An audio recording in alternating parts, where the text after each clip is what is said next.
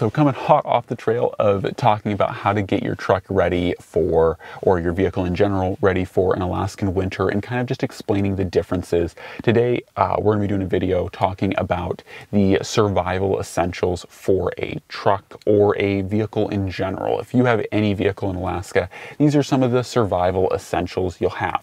Now, I'm not necessarily gonna bring them out and show them because they're pretty self-explanatory, but First, starting off, you know, we talked about in the previous video winterization and having your vehicle properly equipped. Another thing too that really honestly helps with like survival situations or avoiding it in general, or what I would consider a survival essential, is really good tires. And not just really good tires, but practicing with those tires. Usually, um, if you want a more affordable uh, tire for that is totally rated for Alaska, the Bridgestone Blizzaks are pretty hard to go wrong with. Uh, this truck truck is running Nokian Rotiivas on it, and those are pretty good to go with. Um, they aren't all terrain, so you do have to bear that in mind that they're not the most winter specific tire, but they are good year round. Yokohama, Yokohama Geolandars are pretty good. Nitto Ridge Grapplers are pretty good as well. So unfortunately, none of those tires I mentioned are particularly cheap. You know, you're looking at about 250 to $300 a tire, depending where you go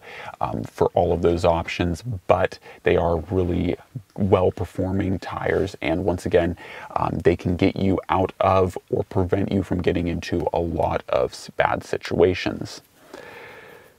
So some more survival specific kind of gear that I carry in this truck. Of course, first starting it off, you know, with my kind of survival background, I have a full on survival kit that is specifically designed for just like me as a person. I don't often take a whole lot of people on winter adventures or when I drive, you know, uh, go on road trips. It's usually just myself. So I have a system that is a one person setup. So I have a zero degree rated bag and honestly, the zero degree rated bags may not be the most cold ready bags. Of course, you can get negative 20, negative 40 bags. Um, but the zero for me strikes a really good balance because for most of my adventures, I'm not going to be going out when it's negative 40. I'm not going to be going out on adventures when it's negative 20. So oftentimes the zero degree bag for me works just fine. Of course, too, if you ever need in a pinch, something like a zero degree bag can be more warm if you have um, liner bags, if you wear thick, heavy clothing in your sleeping bag. So you can beef it up. And another thing to note is a lot of your effectiveness with a sleeping bag comes from the mattress that it's on. So I have a very robust um, I believe the R value is close to seven. I think it's like 6.9 R value. Uh, I have a Thermarest um, Neo Air, I believe it is. Maybe it's not Neo. It's no, it's an X-Therm. There we go. Uh, air pad with it, and that one is a 6.9, if I remember correctly, on the R value. It is a pretty heavy duty um, or pretty warm, like very well insulated sleeping pad.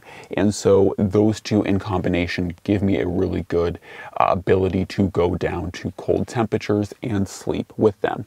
On top of that too, I carry an asymmetrical tarp for, you know, potentially, you know, having like a snow shield. And then I carry a robust one person uh, tent. So I can set up the uh, tarp however I need it. I can set up the uh, tent however I need it, and then I have a robust sleep system. So that's kind of the core. Of course, I have some Mountain House meals. I have bottles of water in here.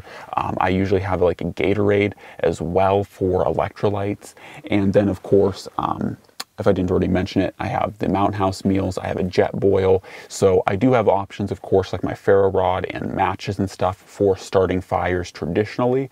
But at the same time, too, in temperatures like it is right now, um, I can use my Jetboil and use that to heat up water rapidly and cook food and overall just, you know, provide for that. I do also have things like Clif bars, uh, you know, granola bars, just general fast foods, um, things like uh, peanut butter uh, and those little like squeeze pouches. So, you know, quick calories, quick proteins to use in survival situations. On top of that, too, once again, you know, I have a self sufficient backpack that has a sleep system set up, but I also have an axe, I have a saw, I have a survival knife in case I need to go old school and, you know, build a shelter. If I need to go old school, start a fire traditionally, I have the means and ability to start fires either way. So usually um, So that's what I have in the vehicle all winter long. Once again, a solid survival sleep system and the ability to make shelter, make fire, gather and harvest materials from the the woods. So I have that stuff and it's all once again in a backpack so that if I have to ditch the truck for whatever reason, I can carry all of this equipment away from the truck. So I tried to keep it man portable where, you know, I have a knife that I can strap onto a belt. I have an axe that I can put in the pack. I have a saw that can be put in the pack, right? And I have a backpack that is robust that can be used to carry stuff away from the truck. So if for whatever reason the truck needs to be abandoned or I need to leave the truck, all of my stuff is portable. So on top of that, two um, other good things to have are things like a snow shovel. It's pretty basic, but a shovel is pretty important. Um, other things you can carry, I don't have personally in the truck, is traction boards. Um, the biggest reason why you don't see a lot of people with traction boards is that, to be honest, they're pretty big and bulky and kind of hard to carry. So I don't have them currently in the truck, but a shovel can effectively do most of what a traction board can. And once again, what's nice about Alaska is if you ever need quick makeshift traction boards, at least in the winter and to an extent in the summer. Um, pine boughs make a really good traction board. If you get enough of them, you can shove them under your tires, and I have used those in a pinch. So once again, having the axe, having a shovel to dig yourself out and you know harvest those pine boughs in an expedient manner can really help. So on top of that, with when it comes to recovery gear, I also have you know your general recovery straps uh, of varying lengths and thicknesses. I have some robust versions and some lighter weight ones. Usually when I'm recovering people, I'll use the lighter weight or thinner um, recovery straps, and then the thicker ones when I need to be recovered because usually this truck's a little bit heavy, so it can be hard. Um, so those are the kind of two options as far as that goes. Of course, too, having the four-wheel drive and four-wheel low and rear lockers. This one unfortunately does not have rear lockers, but it does have um, four low, so it can pull itself out of a great many things. And that's kind of what I love about the Tundra is um, it can pull itself out of a lot of things uh, just with four low itself. But anyways, um, as far as it goes, I do have those. Other things that I totally recommend carrying, you know, uh, when it comes to recovery gear are things like jumper cables. I feel like jumper cables get overlooked a lot, but you never know, not necessarily with myself, but with a lot of people. Um, you never know when a bad battery or if it gets too cold and someone's battery isn't quite up to snuff and it dies out in the field or you know uh, if it just dies in general you got jumper cables. Mine are a little bit newer school and i kind of like the version that i have. Uh, they have a little indicator on them. Now granted hopefully you know how to use jumper cables but mine are kind of dummy proof uh, because i might not be the one hooking them up. So they have like a little um, led indicator uh, built into them. So it shows if your connection is proper, it will have like a green light so you don't necessarily have to sit there and crank and be like, is it getting juice? Is it not? Uh, because sometimes you genuinely don't know. And I have been in situations, especially uh, in the dark, where, you know, um, maybe the cables, not so much the orientation, because of course it's kind of hard to get the black and red cables mixed up. But um, what is really handy is to know if your leads are making good connections from the good battery to the bad battery. So that's that's what I like about that indicator is it shows that, you know, not only is it correctly oriented, you know, you have your red on your hot side and you have your black on your ground, but that it's also um, properly connected. Your leads are making good battery connection. So that's another thing to keep in mind. And uh, just the ones that I have, once again, totally don't need that part, but jumper cables are nice for that reason. So that basically sums up all of the uh, winter survival essentials. Of course, I do have a small like first aid um, kit in a um, Pelican case, and I have a few other things um, in the truck for just general survival purposes. But for the most part, um, that's like the core winter survival essentials um, to a truck and to a vehicle as a whole. And whether you're running a car, an SUV, a truck, you know, these are all things that within reason you should be able to carry. Once again, the traction boards might be a little bit hard for like an economy car, but you could always strap them to your rooftop. Um, potentially with my truck, it'd be easy enough to throw them in the bed. But Uh, yeah, so for sure though, a shovel and an axe can go a long way.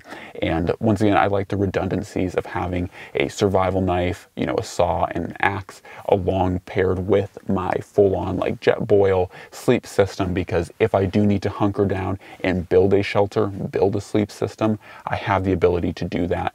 But if it's a pinch or really cold or in a pinch, I have the ability to immediately set up shop with, you know, the ASIM tarp, the tent, the sleeping bag, the sleeping pad, all of that is immediately ready to go and completely accessible. So yeah, those are the survival essentials to my truck. Um, other things, uh, so yeah, that basically covers all, I think, the, the major bases for, you know, being out in the cold. It's not impossible. And once again, two things that you should always consider um, is dressing according accordingly for the weather.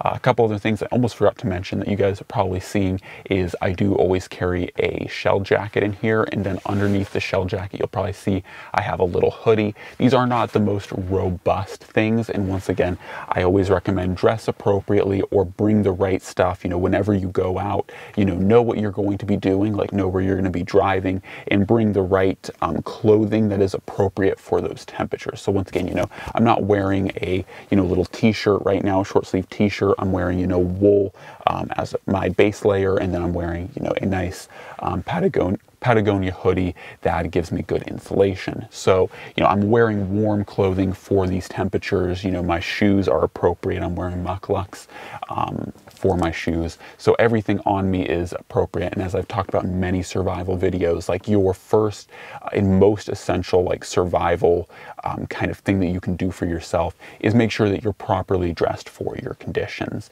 Make sure that you have, you know, face mask and stuff like that. Uh, one thing I should also mention too, almost forgot to mention, is that, you know, I do have a good amount of flashlights and mittens in this truck. So I have mittens, I have wool socks, and I have, um, you know, flashlights and different odds and ends.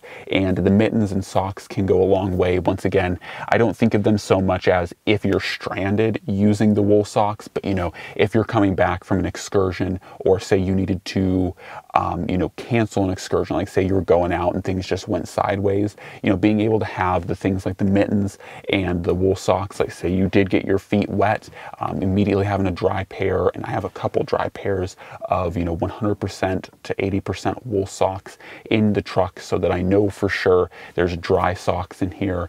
Um, there's, once again, mittens that I can use to cover my um, hands, you know, having hats, just extra winter gear because, you know, even if you do dress properly for your conditions, you know, once again, if you're out and you get wet, your snow machine goes through the water, even if you don't, you know, like fully sink your snow machine or yourself, um, you know, if your feet get wet, it can be a really big killer. So, you know, once again, you can't always uh, anticipate everything, but just having practical preparations like extra pairs of socks, extra pairs of gloves, extra pairs of mittens, extra pairs of everything uh, in your truck so that it's kind of a safe haven to go to is another big deal. So that is stuff almost forgot to mention, but yeah, so like extra shell, extra hoodie, extra, you know, uh, mittens, socks, just the basic core essentials that can get wet can get gross and be replaceable. So anyways, those are my wintertime survival essentials for the Alaskan truck and um, Alaskan vehicles as a whole. I think it's easy to carry all this stuff. Make sure you're prepared. Um, and yeah, that's all I have to say, guys. God bless, and I'm out.